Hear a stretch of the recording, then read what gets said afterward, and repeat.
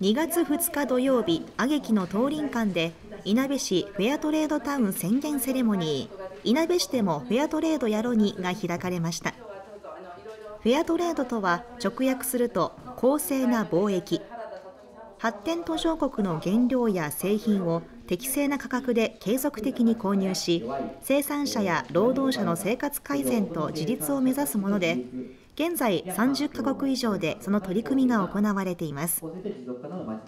いなべ市では2018年5月にフェアトレード推進委員会が発足。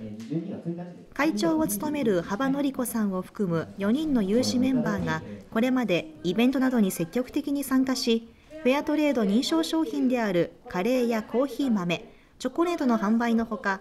子どもたちを対象にそれらの商品を使った料理教室も開催してきました。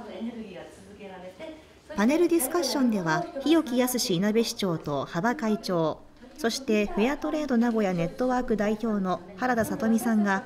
今後いなべ市でも町ぐるみでフェアトレードを推進する運動を行いこれまで見出せなかった価値の発見や市民活動、環境活動、地産地消、さらに地域の活性化につなげていこうと意見を出し合いました。消費者にとって認証された品質の高い商品を手に入れることができるフェアトレード。その認証チョコレートを使用し、地元和菓子店が商品化したわさぶれが皆さんに振る舞われました。専門機関からフェアトレードタウンの認定を受けるために必要となる市長の公式な支持表明です地域の活性化のためフェアトレードの取り組みを支持し協力していくことをここに宣言しま